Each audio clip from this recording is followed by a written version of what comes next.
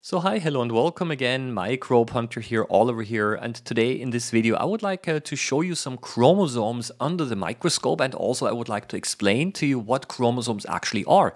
Because uh, just recently one of my viewers asked me, well, if I look uh, at uh, cells like you see over here, wh where are the chromosomes really, okay? So I need to explain this a little bit, but uh, don't worry, it will be a very non-technical and also a very, I would say maybe even a little bit slightly non-scientific way to explain to what chromosomes are and where you can find them. So what are we able to see over here on, on the side? We're able to see here a cross section of a plant, okay? And those large round circles that you see, these are the so-called the nucleus. Um, each cell has a nucleus. So um, yeah, you see that uh, over here. Let me just use the arrow over here on the outside. Here you have the cell wall. And then inside um, the cell, you have this round structure here um, called the nucleus, and the nucleus carries the genetic information, the DNA of the cell. But you're going to see that actually there are a couple of exceptions here because not all of the cells seem to have this round nucleus. For example, look at this one over here, right?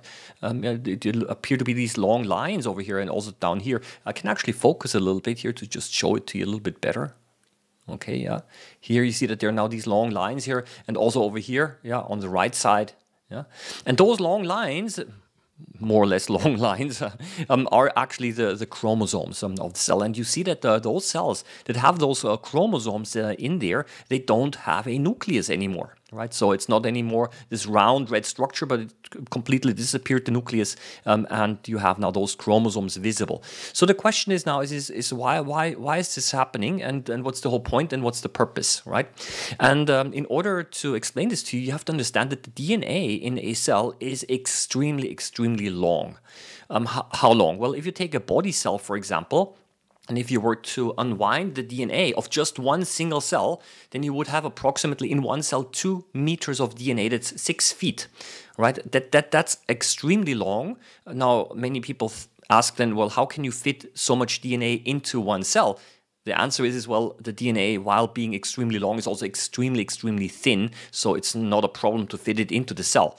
Now, some time ago, I did a little bit of math and I calculated now if you've got around uh, several trillion body cells and then you multiply it by the two meters, um, you'd go um, and if you align the DNA one after the other, you'd basically go to the sun and back a few hundred times. So it's it's really long of all of the body cells of just one person, right? So it's extremely long, and this actually uh, poses a, a, a problem, okay? And uh, this is where we now have the connection to the chromosomes um, again. The problem is is that um, when a cell wants to divide, okay? Um, each cell should get a copy of the dna so what happens is, is that the dna has to be copied first. That's not a problem. I mean it's a problem but the cell solved that problem just like it solved all of the other problems as well. Um, and uh, but uh, then um, each cell should get a copy. But if the dna is so long how are you how can you make sure that the dna um, is actually evenly distributed? So how do you actually move the dna um, in one cell and the, the exa exactly the same copies to the other cell because if there are so many uh, string yeah so many dna strings around it's going to be a mess right? Um, it's going to entangle you're going to get knots in there and it's going to be tied up and, and ah it's chaos right? So um, this loose dna after it's been copied cannot be moved around inside a cell. So you cannot really make sure that uh, both cells get the same dna and this is actually where the chromosomes now start to, to play an important role because what the chromosomes do is, is um, well, they are compact DNA and they're very tight um, and the DNA being wound up. And those chromosomes now can be moved around in a cell much more easily. And I just want to show this to you using a little bit of an analogy here. So let's just say that this is the DNA um, of a cell. Oh, it's not just um, a small piece, but it's huge. Let's say just, I don't know, a whole, whole room full of, of DNA, right?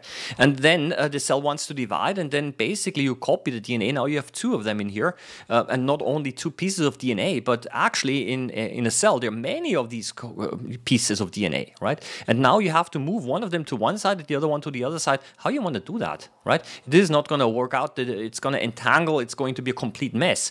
So um, essentially, in order to solve that problem, the DNA now becomes uh, condensed, as we say, and this basically means that uh, each DNA DNA molecule is, is basically wrapped up in a very yeah, dense manner. So I'm just going to use those, uh, those uh, yeah, um, basically matchsticks right now. Yeah, and uh, yeah, I'm just going to wrap it up. Yeah, and what you have now over here, uh, these are now our chromosomes. right? So I've got over here chromosome number one, right? Um, and uh, the, the, exact exact same copy um, of the DNA um, is uh, also chromosome number one the chromosome chromosomes are numbered uh, from largest to smallest. Usually the largest chromosome gets number one, the second largest number two, and so on and so on. So, and here that's uh, still chromosome number one, right? Uh, and uh, they're basically connected together like this, uh, yeah? And then we're able to move them around in the cell, and when the cell wants to divide, um, then uh, one copy goes to the one cell, the other copy can be moved to the other cell, and then the cell is able to divide in between, right? Um, and that's uh, only possible because the DNA is so condensed. And those uh, matchsticks that I've got over here uh, in a cell, what you have is you've got proteins. So the DNA is wrapped around proteins, of course, in a way more complex way than just uh, wrapped around simply like that. Um, they're basically, it's, it's pretty complicated. That's uh, all I want to say. Um, but uh, for our purposes, the analogy is actually the same, right?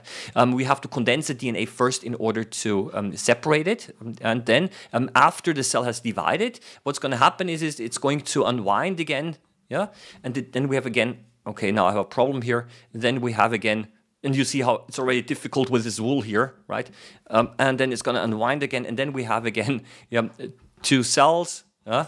Um, two cells uh, with a loose DNA each again. Okay, so that's basically the whole point of chromosomes, and uh, this basically means you can only see the chromosomes uh, when um, a cell actually um, divides. Yeah, and look at what we've got over here. I found another one here. This uh, also a beautiful uh, yeah example here. You see the chromosomes here inside the cell. Yeah, um, and uh, this cell therefore is also dividing. Yeah.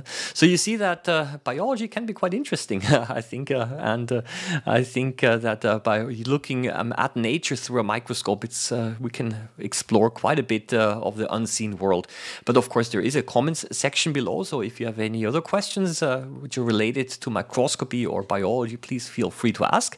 Um, I'm going to try to make a video for today. That's all I would like to share with you. I wish you all the best. happy microbe hunting as always. Don't forget to subscribe.